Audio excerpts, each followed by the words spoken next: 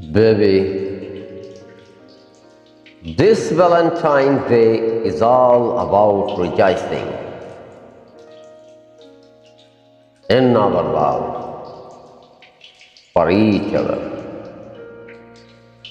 It is about expressing all the love which we so tenderly carry in our hearts.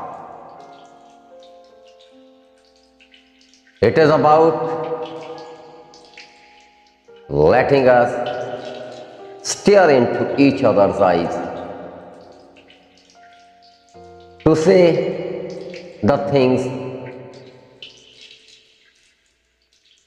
that ever word cannot. I love you.